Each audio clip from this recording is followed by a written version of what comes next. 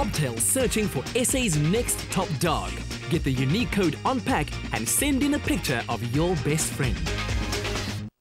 Welcome back to Expresso here on SABC3. Now, today marks Take Your Dog to Work Day, and it was first celebrated in 1999 by Pet Sitters International, and it was created to celebrate the great companions that dogs make, and also to encourage their adoption from humane societies, animal shelters, and breed rescue clubs. And this morning we have Dr. Jimmy Simmons, Director of Happiness Is and veterinarian for the Happy Animal Clinic, uh, with us to give us a bit more info on this very special day. Jimmy, good morning. Welcome. How are you? Morning. Good. Thank you. That's it. So, very special day. Take your dog to work day. And as you can see, it's a Bob's life here on Expresso. He's every day here at work. But let's talk a bit about the meaning of, of, this, of this day. What does it mean exactly for the guys out there?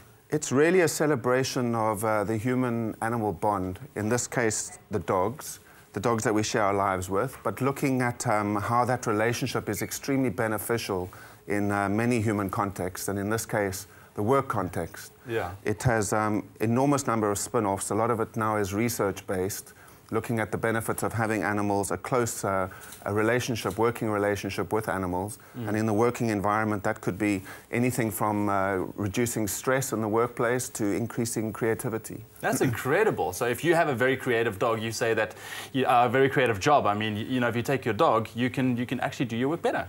Well, there's, there's a very close link to being, uh, between being very relaxed uh, and being playful or creative. It's yeah. impossible to be creative when you're all stressed out, and many work environments very disconnected from nature, yeah. very disconnected from uh, an environment where you can drop your defenses and actually relax and then be inspired. Mm dogs can facilitate that process. Interesting fact that I've also heard is just by stroking a dog, you can actually lower your blood pressure. Yeah, so there's a whole category of uh, dogs uh, in, a, in the workplace being used as uh, therapy dogs. Pet-assisted therapy is what it's referred mm. to.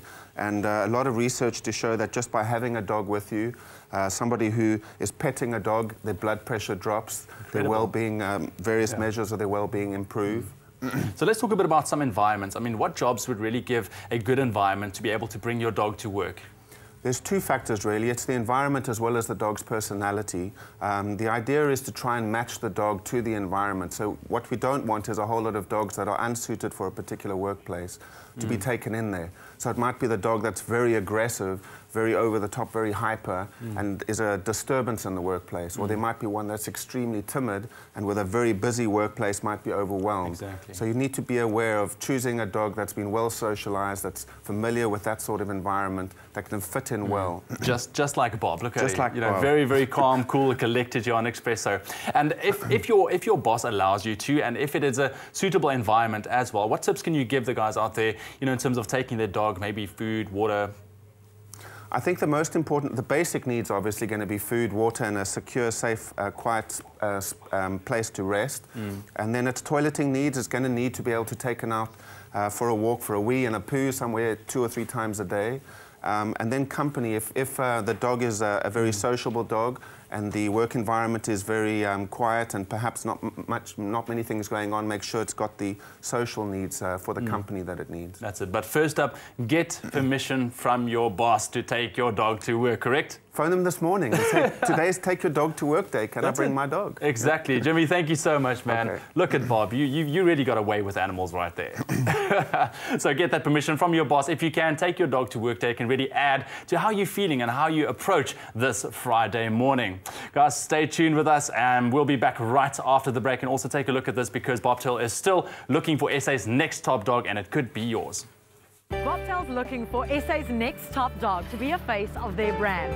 Up for grabs is a starring role for your dog in Bobtail's next billboard campaign, as well as an interview with you and your dog on Expresso. And a two-night stay at the 12 Apostles Spa and Hotel for you and your winning dog. To enter, simply upload a picture of your dog doing something amazing onto Bobtail's website and enter the unique promotional code found on promotional packs of Bobtail. Like their page on Facebook to be kept up to date with the competition. And stay tuned to Expresso for weekly sneak peeks of the competition and help Bobtail choose SA's next top dog. Bobtail for strong South African dogs. Stay with Expresso and SABC3.